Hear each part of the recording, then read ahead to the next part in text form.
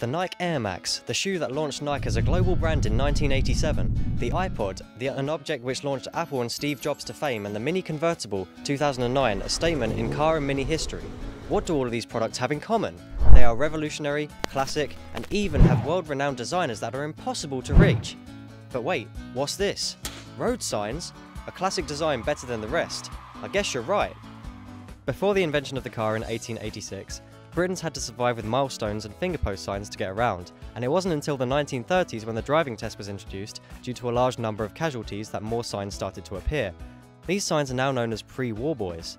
Unfortunately, these road signs do not have a great reputation and confuse drivers more than actually help them. This was mainly due to the road organisation groups, the AA, the Ministry of Transport, and the RAC, following different designs and ideas on how best to signage Britain's roads. White, yellow, blue, pictures that had different meanings, these signs can only be described as chaotic and unpopular, however they have seen a resurgence in recent years kept alive by collectors and enthusiasts. My name is Andrew Bragg, I work for London Underground, TfL, and I currently own about 70 signs. I was into classic cars since I was a teenager. Classic signs seem to be an offshoot to classic cars, a bit of nostalgia.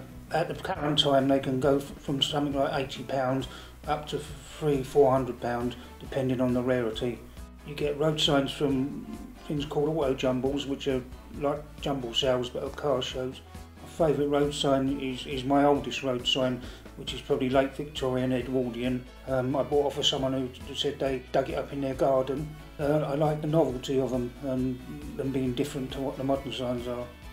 Commissioned in 1957 to redesign motorway signs and then again in 1961 for all other signs, Richard Kinneir, called Jock for short, yeah, we don't get it either, and Margaret Calvert are legends in the design world.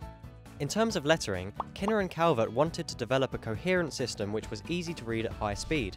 A new typeface was formed called the Transport Alphabet, which is now affectionately known as the handwriting of Britain. Their concept was that many signs would form a map of the junction ahead and include a combination of upper and lowercase letters. This was due to word recognition, as it is easier to recognise a word with a mixture of casing due to the brain filling in the rest of the word. Lettering also became wider, white, and made using a new material which allowed them to be visible at night, by reflecting the light from car headlights. Colour was also carefully thought out. In part it was an aesthetic choice, but also it was suggested because of the use of reflective materials and their costs. Black was considered for the background, but was felt to be too negative, the blue chosen was the American Standard Interstate Blue colour, a smart choice which contrasts the white lettering and makes the background appear black at night.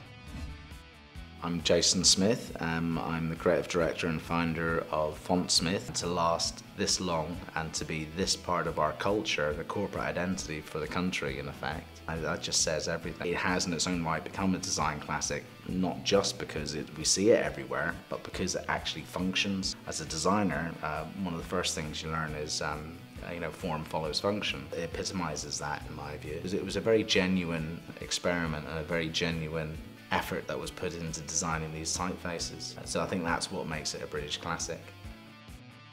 As I mentioned earlier, Kinneir and Calvert also designed all of our other signs. My favourites are the warning signs Calvert drew herself as they are in fact based on her own life. Like the cow featured in the triangular sign warning drivers to watch out for farm animals was based on Patience, a cow on her relative's Warwickshire farm.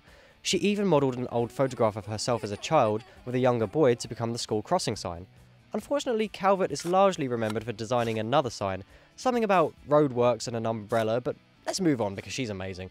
Anyway, there's a new trend spreading which I'm not sure if I like, the transformation of road signs into art, as if they aren't already.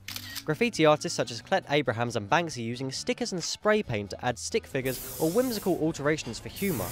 More appropriately, the London Design Museum commissioned 42 of the UK's leading graphic designers and artists to pay tribute to road signs as part of the 50 year anniversary. It is sad but true to say that most of us take our surroundings for granted.